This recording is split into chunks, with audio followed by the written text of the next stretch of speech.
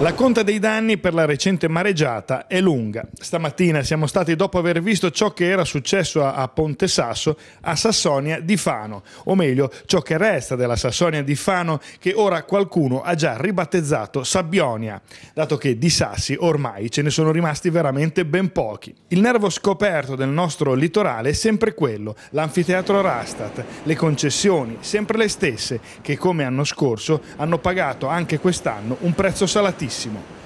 Anche quest'ultimo episodio tocca un nervo scoperto che fa saltare non solo gli operatori commerciali ma anche le associazioni di categoria come Oasi Confartigianato che da diversi anni chiede la salvaguardia delle attività e dei posti di lavoro, appello che sembra però essere anche quest'anno caduto nel nulla. Il circolo velico della Sassonia si trova in mezzo agli stabilimenti balneari, fa attività agonistica ed è un circolo privato, ma la concessione la paga come gli altri e come gli altri ha avuto la sua scorsa notte 20 metri di arenile devastato dalle onde e dall'acqua che è arrivata fin sotto le strutture che si sono anche allagate. Chiede ora, per voce del suo presidente, che le promesse dello scorso anno vengano rispettate e vengano mantenute, soprattutto a riguardo delle scogliere. Nostro questo circolo che esiste esattamente dal, da 42 anni, esattamente dal 4 settembre del 1976,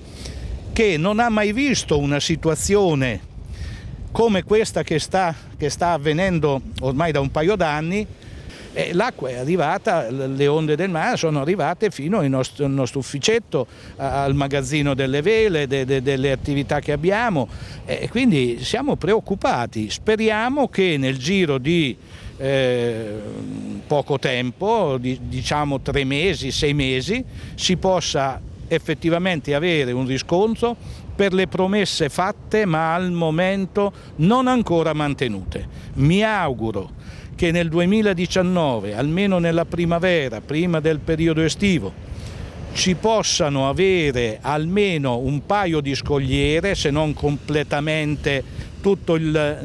diciamo, questo tratto di spiaggia tutelato, ma almeno quelle scogliere che ci permettano di fare attività. E ovviamente siccome siamo tra i vari bagnini, tutelare anche loro, indubbiamente.